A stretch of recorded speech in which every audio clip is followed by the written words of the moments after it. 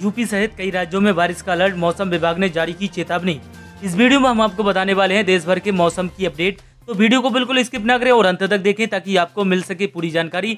रोज़ाना मौसम की ताज़ा खबर पाने के लिए हमारे चैनल को ज़रूर सब्सक्राइब करें और वीडियो को शुरू करने से पहले आप कमेंट्स में बताइए किस ज़िले से इस वीडियो को देख रहे हैं, ताकि हम आपको रोज़ाना अपडेट करते रहें। आपको बता दें, राष्ट्रीय राजधानी दिल्ली में मानसून के आगमन के साथ ही लोगों को गर्मी से राहत मिली है।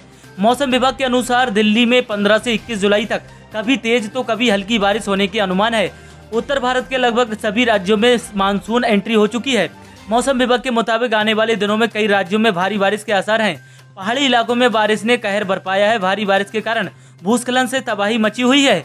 वहीं बिहार में बारिश से बाढ़ जैसे हालात पैदा हो गए हैं। दिल्ली एनसीआर में देरी से सही, लेकिन मानसून की एंट्री हो गई है। बारिश से राजधानी में मौसम सुहाना हो गया है। मौसम विभाग के द्वारा जारी की गई जानकारी के अनुसार दिल्ली में अगले चार से पाँच दिनों में हल्की बारिश देखने को मिलेगी और उसके साथ ही भारी बारिश का सिलसिला शुरू होगा। वहीं हिमाचल और उत्तराखंड में 18 जुलाई तक भारी बारिश को लेकर अलर्ट जारी किया गया है। दक्षिण उत्तर प्रदेश, पंजाब, उत्तरी राजस्थान, हरियाणा और उत्तरी मध्य प्रदेश में 17 से 19 जुलाई के बीच भारी बारिश के आसार हैं। बिजनौर, हस्तिनापुर सहित कई जगहों में हो सकती है बारिश। मौसम विभाग ने जानकारी देते हुए बताया कि बिजनौर, हस्तिनापुर, चांदपुर, जहांगीरबाद और अनूप शहर खैर इगलास अगतौरली गभाना अलीगढ़, हाथरस, कोसली, नारनौल, हरियाणा, झुंझुनू, फतेहपुर और आसपास के इलाकों में गरज के साथ बारिश हो सकती है। कच्छ और आसपास के क्षेत्र पर है कम दबाव का क्षेत्र। मौसम का पूर्वानुमान बताने वाली प्राइवेट एजेंसी स्काईमेट के अनुसार कम दबाव का क्षेत्र कच्छ और आसपास के क्षेत्र पर बना हुआ है।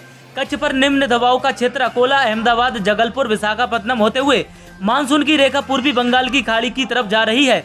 अगले तीन दिनों के दौरान अधिक बारिश के होने के आसार मौसम विभाग के मुताबिक अगले तीन दिनों के दौरान कोंकण गोवा और कर्नाटक में भारी से बहुत भारी बारिश होने की आसार है।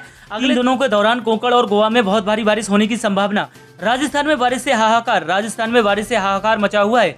राजस्थान के भीलवाड़ा में बारिश के बाद सड़कों पर पानी भर गया है। इसी बीच एक बच्चे की नाली में गिरकर मौत हो गई। वहीं दूसरी तरफ़ बिहार में बारिश से बाढ़ जैसे हालात पैदा हो गए हैं। 15 से 17 जुलाई तक गरज के साथ हल्की बारिश। राजधानी दिल्ली में मानसून के आगमन के साथ ही मौसम खुशनुमा हो गया है।